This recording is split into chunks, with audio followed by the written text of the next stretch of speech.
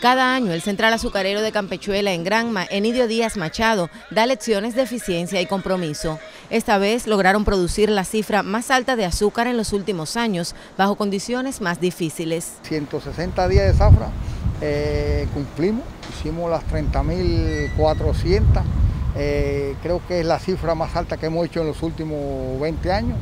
Eh, zafra larga con escasez de recursos, el bloqueo no se agudizó más y con la pandemia pues entonces lo que nos tocaba a nosotros, a los azucareros de Enidio, es hacer azúcar. El Enidio es el central más eficiente de Granma y buena parte de su producción final se exporta. Ha hecho su plan técnico económico con más de medio entero rendimiento por arriba del que tenía planificado, que es alto, con una alta eficiencia energética. El Enidio ha entregado más de 1.600 megawatts al CEN y ha dejado de consumir el 70% de la energía que tenía planificada.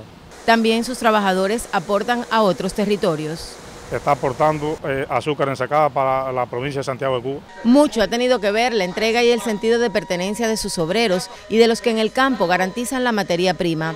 Así fue reconocido por el presidente del Consejo de Defensa en Granma, Federico Hernández, al presidir el acto de cumplimiento del Coloso que seguirá aportando al plan de la provincia.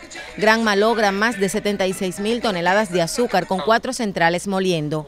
Según los especialistas, mientras haya disponibilidad de caña en los campos y el tiempo lo permita, los granmenses seguirán haciendo azúcar. Lisette Márquez, Sistema Informativo de la Televisión Cubana.